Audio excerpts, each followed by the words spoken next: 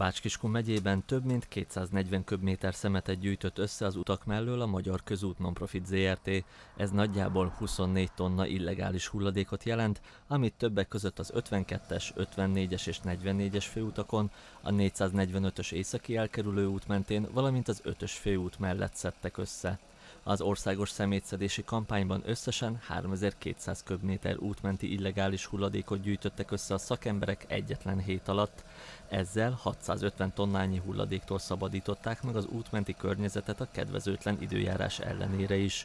Április 12 és 16 között a közútkezelők 94 mérnöksége közel 1500 helyszínen egymástól eltérő útszakaszon, csomópontban és pihenőhelyen szedte a szemetet. A mérnökségi brigádok teljes munkaidőben végezték az elszórt és jogellenesen elhelyezett hulladék eltakarítását, és a közfoglalkoztatási programban résztvevők is kivették a részüket a munkából, így csak nem 49 ezer munkaórába került, hogy megszüntessék az illegális lerakatokat és megtisztítsák az árkokat. A legtöbb hulladékot egyébként Pest, Fejér és Borsod-Abaúj-Zemplén megye országos útjai mellől gyűjtötték össze.